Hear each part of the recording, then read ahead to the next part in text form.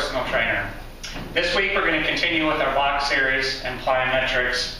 Uh, last week we did the step ups. This week we're going to uh, add a little uh, movement to that, make it a little bit more aerobic. This is called uh, the box march.